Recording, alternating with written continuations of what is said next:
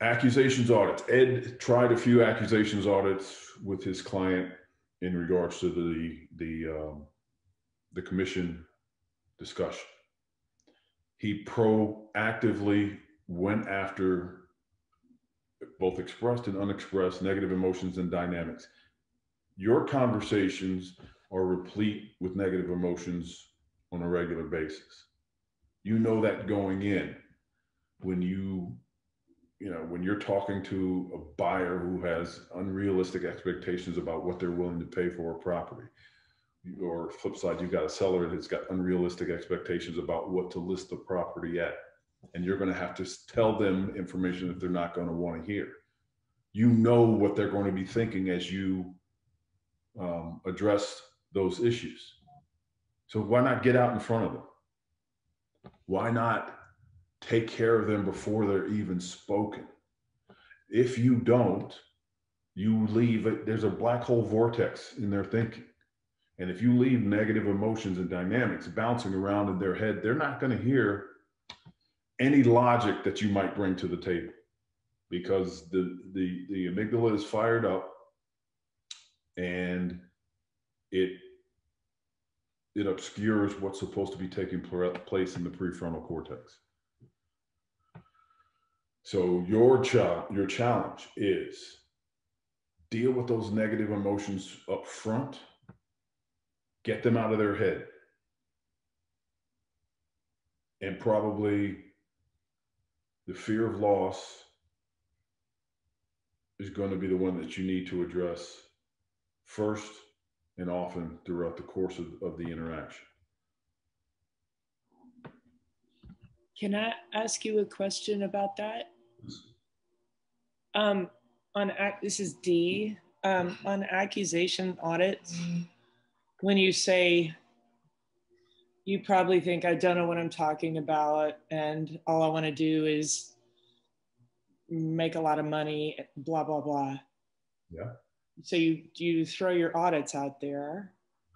How do you transition to your point? Because you can't say you're not supposed to say, I don't want you to think that I don't know what I'm doing.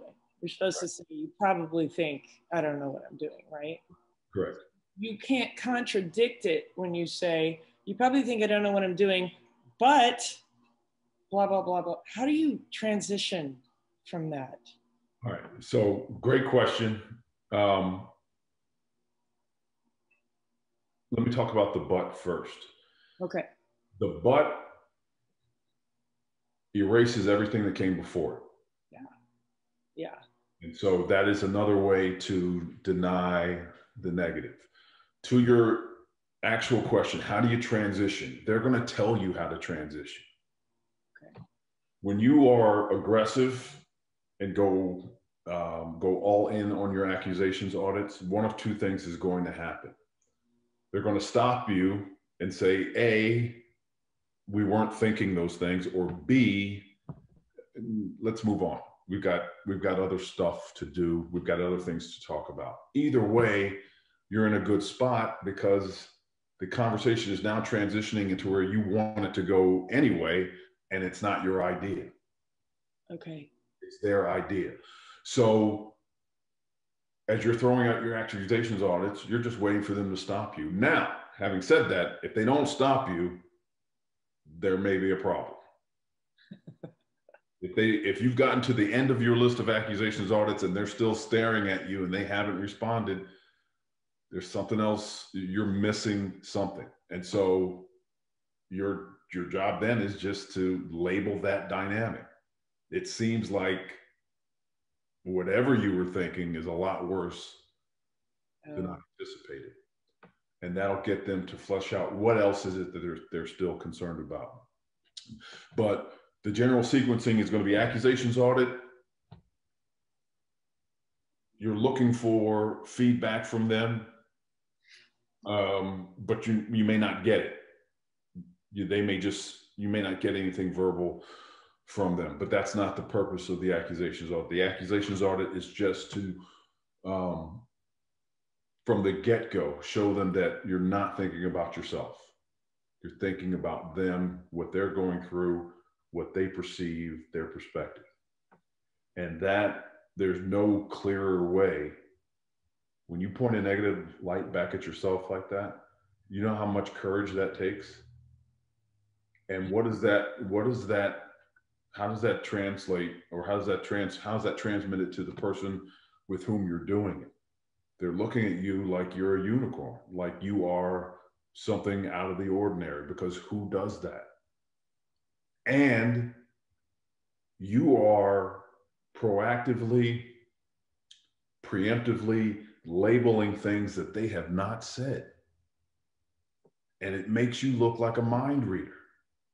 How much more can you convince somebody that you are dialed into them to the nth degree than for you to start labeling things that they have not spoken yet?